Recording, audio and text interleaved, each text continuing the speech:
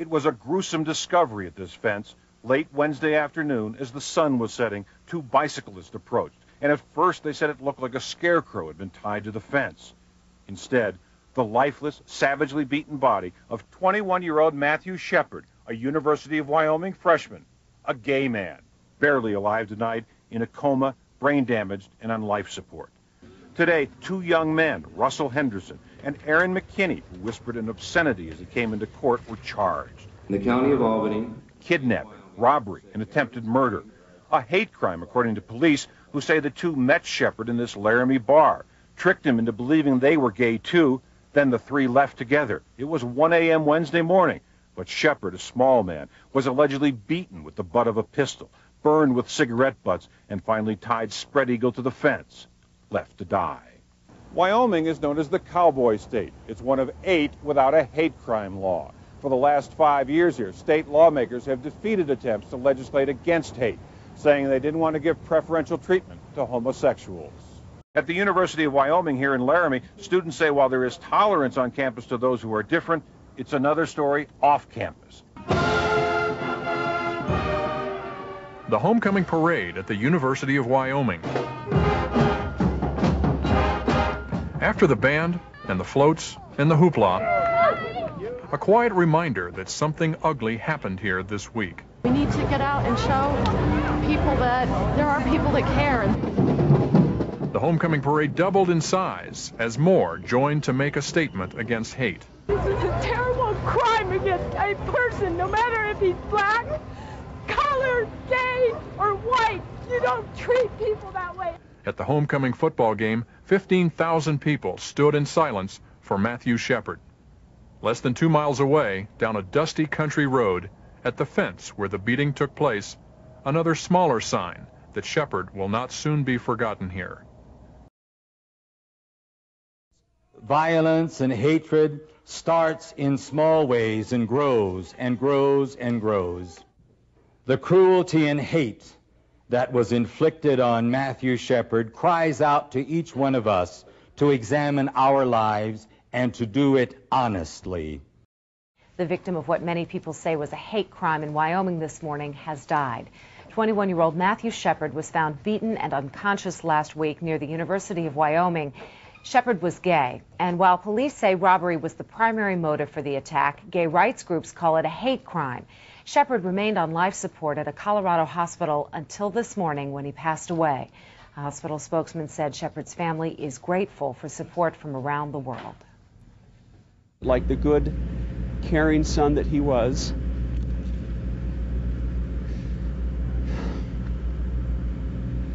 um, he was able to remove from them the guilt or stress of having to make that decision. They said that uh, he came into the world premature and he left the world premature. They are most grateful for the time that they had to spend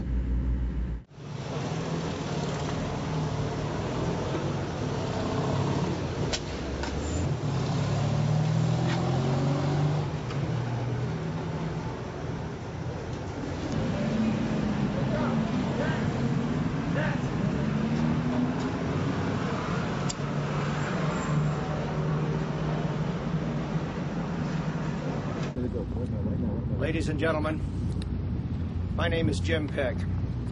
I'm here today to be with my sister Judy, her husband Dennis, and the rest of the family as we say goodbye to a wonderful young man, my nephew, Matthew Shepard.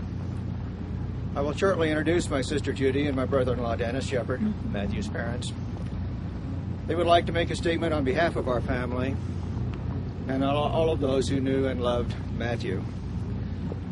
Please respect our decision that Matthew's memorial service today be closed to all but family members, our friends, and our invited guests. The shocking loss of Matthew and the worldwide attention to the circumstances that led to his untimely death demand that our family comes together in peace with privacy. Please allow us to comfort each other without distraction. We have made a concerted effort to make this solemn service accessible to you while still allowing us to pray for Matthew in peace. we know you all understand. The Shepard family would appreciate it if the media honor this request and not bother those who come together to say farewell to Matthew. Lastly, we request that you refrain from questions or comments after Matthew's father, Dennis Shepard, makes a brief statement on behalf of the family. Thank you for your restraint and your understanding. Ladies and gentlemen, Matthew's parents, Dennis and Judy Shepard.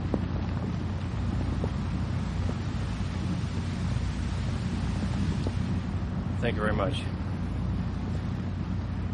Before I read my statement, I would like to thank the press for respecting our privacy, both here and in Fort Collins, in these very trying times.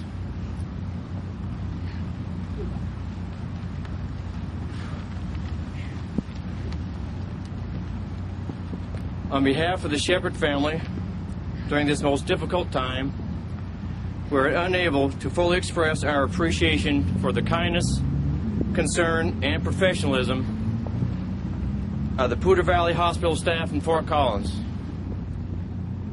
As shown by Mr. Rulon Stacy during his touching statement at the time of our son Matthew's passing. Our appreciation as well must be expressed to the Albany County Sheriff's Department, the Laramie City Police Department, and the Ivinson Memorial Hospital in Laramie for their extraordinary help and respectful consideration. On behalf of our son Matthew Shepard, we want to thank the citizens of the United States and the people of the world who have expressed their deepest sympathy and condolences to our family during these trying times. A person as caring and loving as our son Matt would be overwhelmed by what this incident has done to the hearts and souls of people around the world. Matthew is the type of person that, if this had happened to another person, would have been the first on the scene to offer his help, his hope, and his heart to the family.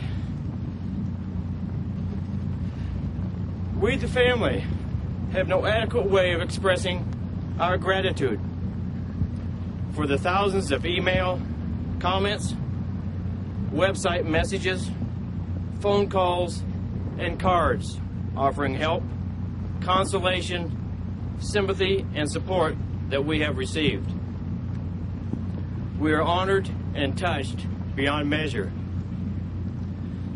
Please understand and respect my family's request for a private and dignified farewell to our son today. Matt's family and friends loved him deeply, and we need to share a quiet goodbye with him. Matt himself would, been, would have been the first to honor another family's request if this had happened to someone else. We should try to remember that because Matt's last few minutes of consciousness, consciousness on earth may have been hell, his family and friends want more than ever to say their farewells to him in a peaceful, dignified, and loving manner. Once again, I must express our appreciation for the outpouring of concern about Matt's well being during the last week as he fought for his life in the hospital.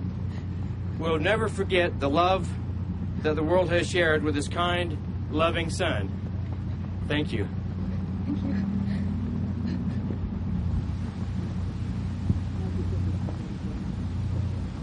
So say and spell your first and last name again for me. W.N. Otwell, O-T-W-E-L-L. And what church are you affiliated with? I'm the Heritage Baptist Church in Nacogdoches, Texas, or Mount Enterprise. I better say Mount Enterprise. They get mad if I don't use Mount Enterprise. Tell me why you're here today. We're here to say that we're against the brutal killing of Matthew Shepard. But we're here mostly to say that we're against sodomy. We're against homosexuality, been against it for years. My parents taught me better. The Bible teaches us better. We're here not to condone the killing. Anyone ought to be against that, even to an animal. No one has a right to be murdered like that. But we're here to stand against wickedness. They call us hate mongers. That's fine. We hate everything God hates. God hates the sin of sodomy. He hates sin, and we hate sin. And we hate the sin of sodomy. Sodomy is, is a more wicked crime and more corrupt a sin against society than drugs, than alcohol, or illiteracy, because it's perversion. And we're here, we're here to take our stand, and it offends me. It personally offends me that we allow sodomy to run loose in this country, and it offends me this morning the state of Wyoming would fly their, would lower their, their, their flags half-mast in, our, in the public school system to honor a sodomite. No one appreciates what happened, but at the same time, we don't honor our grandparents. We don't honor our fathers who died in, in, in the wars. We don't honor our mothers who and grandparents who get killed, brutally killed or raped. We don't do this. To, we, we're, making, we're discriminating here. And I think it's wrong, it's, it's, it's ridiculous, and as far as I'm concerned, it's wickedness on the governor's part of the state of Wyoming uh, to say to the public school system, lower your flags to half mast. I think, I think it's wicked in this country. What about the folks who say this isn't the forum, that this should be for the family? Protest some some other time, not here. To start with, I don't think it ought to even been in the church. I don't think there's no such thing as a Christian sodomite. You can't die and go to heaven being a sodomite. You have to repent and be born again to go to heaven. I used to be in sin. I danced on every da- dance floor in Southwest Arkansas and San Diego, California, but I had been drunk. I had to get born again and get out of my drunken stupor and get off the dance floor and to serve God. And God changed my life from a life of sin and wickedness to a life that was godly and holy. Not perfect, but godly and holy. And, and sodomy is sin and wickedness. And if that man didn't repent before he died, he's in hell today. Why here, though? Why now? because this is an opportunity that you have to continue to stand against wickedness. Now, the government will use this opportunity, just like the state of Wyoming is using this opportunity, and the and the gay activists to get this hate crime bill in. I think it's stupid that we want to pass a hate crime law when killing is killing. My life is as important as anybody's life. Your life is as important as anybody's life. What makes a gay person or a black person or a minority any more important than anyone else in this world? For Matthew Shepard's family, don't you think that this taking the stand here at this time, not saying that it, you shouldn't protest when you want to protest, but wouldn't that be hurtful for them? I think I think this mother and these parents need to face reality. They didn't raise him right. They didn't teach him right. And the Bible said a child left himself brings his mother to shame. Proverbs 29:15. This this he lived like he died. He died in shame. He lived in shame. He died in shame. And his parents ought to be ashamed. They ought to be ashamed to even identify him as a Christian. It, it's a shame to even have his funeral in this church house over here. Regardless of where I agree with the Episcopals or not, they shouldn't even have it in that church house. They should have it at some queer bar somewhere or some queer meeting somewhere, not not over here in this in this church house. Because this church house, regardless of it being Episcopal, a Baptist, a Methodist, whatever, represents true religion or Christianity. That's what it represents. And, and we don't we don't we don't say that uh, that sodomites is going to die and go to heaven when they die. Just like a drunk and a liar and a thief and a dishonest person. They don't get born again, they're going to die and go to hell. Thank you, sir. Thank you. Okay. Uh, first say and spell your first and last names for me, Reverend. Fred, F-R-E-D, Phelps, P-H-E-L-P-S. And what affiliation, what church? Pastor, Westboro Baptist Church, Topeka, Kansas. And Westboro, how do you spell that? W-E-S-T-B-O-R-O. In Topeka, Kansas. Topeka, Kansas. Okay. Tell me why you're here today, sir. Well, I already told everybody in the civilized world I'll tell you again. Uh, we uh, this is an important event. We haven't seen anything quite like this uh, over this kind of subject since uh, we picketed Randy Shilts's funeral in uh, San uh, Francisco. we want to inject, or hope to inject, a little sanity and gospel truth into what's shaping up fast to be some kind of an orgy of homosexual propaganda and lies is like a Cecil B. DeMille epic going on here. It's not okay to be gay. We're sorry that young boy got uh, killed. Uh, I've told the governor here that if they convict anybody for that and they have the death penalty, I'll come uh, at my expense and flip the switch. But that's not the issue here. The issue here is this method by these uh, militant, uh, activist homosexual groups to use this as a fulcrum to propagate their filthy lifestyle and their filthy program and their uh, degenerate uh, political agenda. That's what they're doing, and using this boy's uh, uh funeral as, as a methodology for it. Why this occasion? This we just came from speaking to the family for the first time, and they want their, this funeral to be private, peaceful. Uh, it's a solemn occasion for them. They want folks to respect respect their wish to just say goodbye privately to their son and without all of this. Well, we've told these homosexuals for eight years now that if they want to have a private uh, funeral and keep quiet about it and go off with just the family, they won't hear from us. But when they turn it into something like this, it's too late to talk about having a private, uh, low-key, uh, respectful funeral. I mean, we believe a little bit of God's side ought to be injected into this mass hysteria here. I mean, it's not okay to be gay. I mean, it's a soul damning, nation destroying lifestyle. God's word for it, He destroyed Sodom because it was accepted and respected. He'll destroy this nation also. All the gospel preachers, look, 51 years ago, when those old Baptist preachers laid their hands on my head and ordained me to this ministry, they all preached this way. You didn't hear any kind of stuff that it's okay to be gay and agitating for gay rights and all the rest of it. These people don't deserve any special laws. They're sinners. What about Matt's parents who might be hurt by this? If they Matt's parents, if they walk by, walk into the church, they hear you folks, could be hurt by that. that well, I hope hurt. they'll be helped by it. I know they're not going to be helped by these fags carrying on like they're carrying on. I'll tell you another thing. My mom, take bless her soul, taking me to the dentist to comfort me, used to say a little hurt now saves a big hurt later. That's what I would say to his parents. We're sorry for your loss. But if that boy could come back and stand with us today, his message would be, according to Luke 16, listen to Fred Phelps, for God's sake. Listen to Phelps, mom, dad, all of you, or you're going to come where I am. The evidence is not good for it, you know, that that boy's in heaven. Have you ever been to a fag parade? We didn't force they the have fags to shirts adopt on it as their own label. Big fag, big guy. They're proud of that Fag is label. proud of it. We didn't make that word up, and we sure didn't associate it with them. But we're not going to sanitize their lifestyle either. And we're not going to pretend that in this insanity where everyone is caterwauling for special laws, what more do you want from those many that killed him besides the death penalty? You cannot kill them twice, so you can pass all the more laws you want, and it will not change this situation. And when you start no passing fear. those hate crime laws, you've just said that it's worse to kill someone of the same sex than it is if they picked up a woman in the bar and done it. That's what your hate crime laws say. They're your pet political correctness of the month. That's all a hate crime law is. You, by promoting hate crime laws for this crime of robbery and murder, you said it's worse to kill someone than it is to kill someone else. If they'd robbed a female that they picked up in a bar trying to take her out for sex and then robbed her, you wouldn't be all here.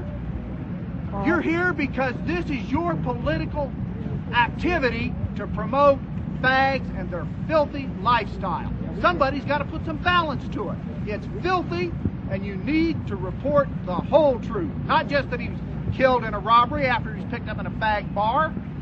Well, who told that child it was okay to troll Yeah. for strange Westboro Baptist Church.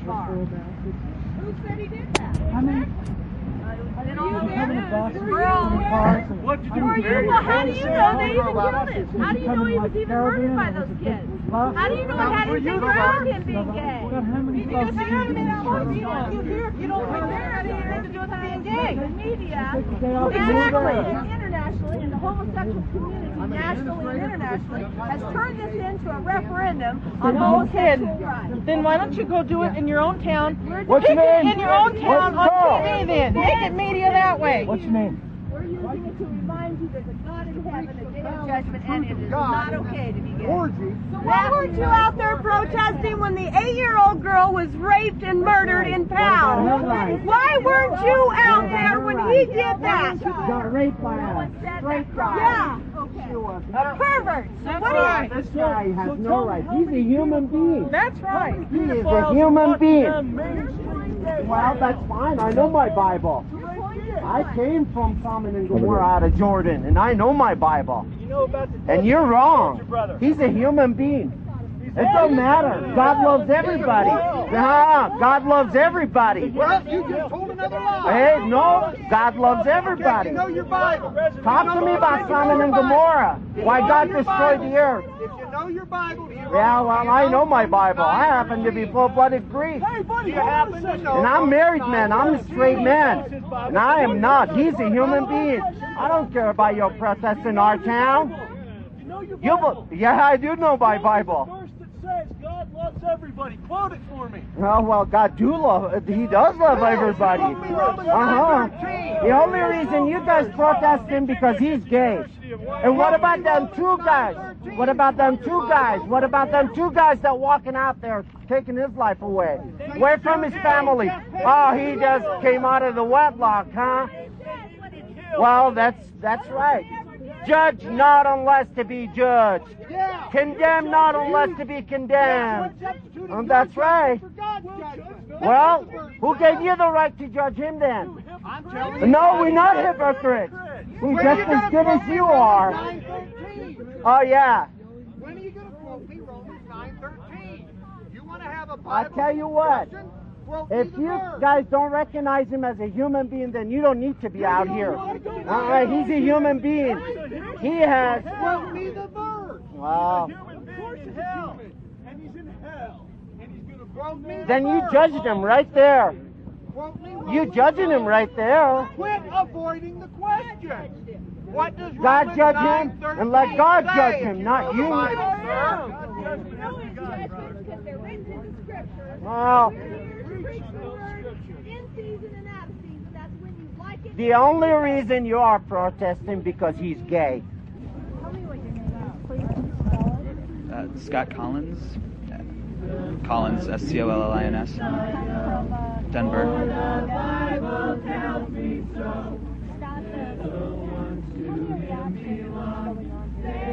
My reaction is that these people don't have anything better to do with their time, and it's absolutely disgusting that they can't let us mourn in peace.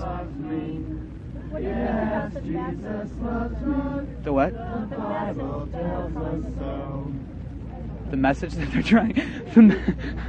they're not trying to send a message. They're they're making complete idiots of themselves. The message that they're trying to send is that they want to keep all of the human race divided and segregated. That's the message that they're trying to send.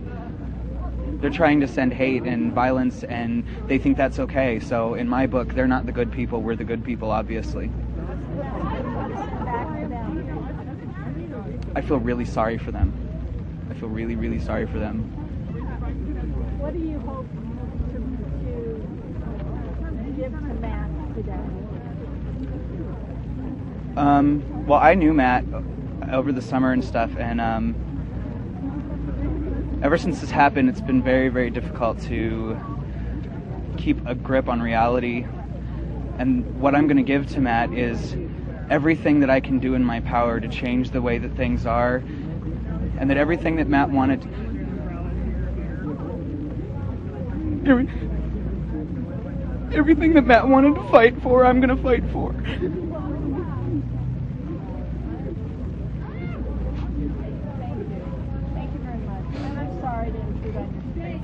It's Terry Summers, T E R R Y S U M M E R S.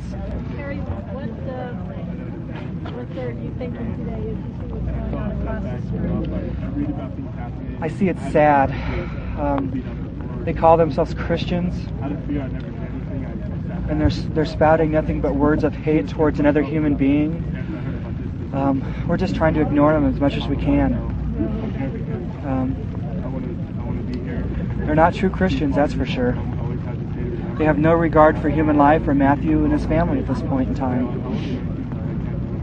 It's utterly appallable. But I want to make sure that people ignore them because I know that this just fuels into their fire and that we must ignore them. What are you going to do to counter their message that, you know, homosexuality is sodomy and it's sinful and Matt's on his way to hell? What do you, what do you uh, want to do to, to counter that? I think we definitely need to educate people. Um, we need to respond to their message, but today is not the right place to do it. Um, today is for Matthew and his family, and that our hearts and our, our thoughts and our prayers are with him at this point in time. Matt was a friend of yours. What, uh, I met him about three months ago. what do you think? Just in your own heart. I think Matt would be proud of the response that we've taken. That we are we are one people gathering together to celebrate his life and to mourn his loss and to put our hearts and our thoughts and our prayers with his family at this time. Thanks. Okay, first of all, tell me your name. It's Amber Miller, A M B E R. M-I-L-L-E-R. Amber, when you walked behind uh, Reverend Phelps and said, God don't hate no one, I was wondering why, what you wanted to tell him. God doesn't hate anyone. I mean, it doesn't matter what this guy did. He didn't deserve to die this way. And this, these protesters here, I mean, they got their little, they got kids out here doing this nonsense. They're getting these kids hating fags, gay people. Tell them about what It you just, know what you know they're they're portraying Christianity as something of, of hate and it's not. I mean, as a Christian, you know Jesus Christ come in love and, and mercy and kindness and in truth, but this isn't. I mean, just because the Bible says, you know, homosexuality is a sin, you know, God doesn't hate the sinner. God hates the sin. He doesn't hate the sinner. And it just, it just drives me. I mean, it, it boggles my mind that these people are here at a funeral doing this, protesting. And I just, I, don't know what I'd do if I got in that guy's face. You know, I'd probably just tell him the same thing. You know, God doesn't hate anyone. He doesn't. That's why when you're laying on your deathbed, you have those right, those last rights, and He'll forgive you when you, know get those God last rights. He hates sin. He's sin in people that, Yeah. that He doesn't hate the, the people that sin that does the sin. Yeah, He just hates the sins. no one has the right to hate life. That's right. Not the way this guy was taken. So I don't care how. no, it, it's it's just sick. It really is. It's a brutal, brutal death, and it, it's really terrible that these people have to come out of town to do this to labelize Casper, Wyoming as something really bad. Now, we're not. We're just trying to get these protesters out of here. You know, we're not going to tolerate their nonsense. Can I ask why they're labelizing him as gay, everything gay, gay this, instead of just Matt Shepard? Why the media is is just Yeah, why they have to make it so bad? I mean, that this a gay student died. Know? every every time they go towards Yeah, go towards it. It's a gay student. You know, it's not just Matt Shepard died. This guy died a brutal death. A gay student died a brutal death, and it's really, I don't know. Mhm. Thanks. Matthew. An angel with new wings in a place a world away.